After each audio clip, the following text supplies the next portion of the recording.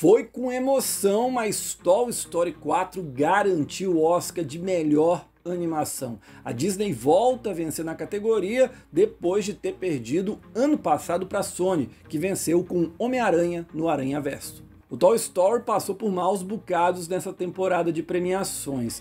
Primeiro foi no Globo de Ouro, em que acabou sendo surpreendido com a vitória de Link Perdido. Porém, muita gente achou que era uma loucura do Globo de Ouro e que Toy Story continuava favorito, o que aumentou ainda mais após as indicações ao Oscar, quando o Frozen 2 foi esnobado. Porém, veio o Annie Awards e o filme foi muito mal, perdeu em todas as categorias e ainda viu Klaus se sagrar vencedor. No dia seguinte, Klaus ainda ganhou o BAFTA.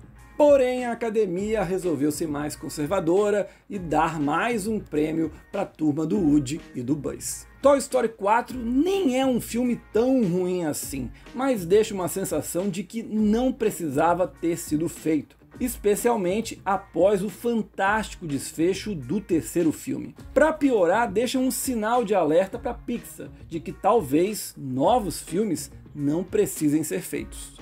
Eu tenho até uma ideia para o Toy Story, eu acho que a Disney poderia pegar no streaming dela e fazer uma, várias séries com os personagens, mesmo solo, eu acho que seria uma coisa muito legal e divertida, daria uma audiência absurda para o streaming da Disney.